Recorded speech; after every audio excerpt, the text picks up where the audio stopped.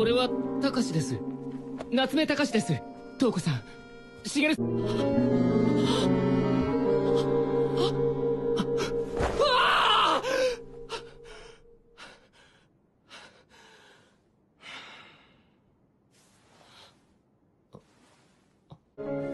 生。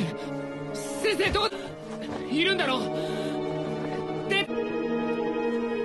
どこ行っちゃったんだ。先生。瞳の色もなんか青い。気のせいだったのか。おーい先生もいつか俺に情が移るかな。はあ黒いにゃんこって可愛いな。じゃあ先生を先に見て。他のやつに食われるのは惜しいな。育ててもらった覚えはないぞ。あるか夏夏目。にゃんこ先生。まったくどんくさい。